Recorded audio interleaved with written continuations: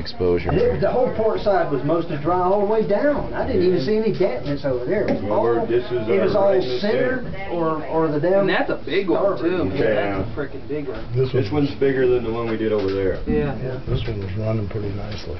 I mean, This like a little, cool little river. shit, isn't it? I I can't- never- I I can't What's drink this stuff beer. I called? won't, Tom. I I don't know, it's, you buy it in the plumbing department at Home Depot. It's fucking magic. It, it, it says, it says not to use for pressure pipes, but it hardens to, you could, after about an hour, you could drill Dusty, it, we're gonna drill it and tap it and, Eventually, And, uh, one ten to run, uh, and Get run like screws into hard? it. What's that? Get we're gonna wanna run the hard? Yeah. vacuums. Yeah, yeah, drill it and tap it. You want the vacuum, Tom? Well, we're gonna eventually want to.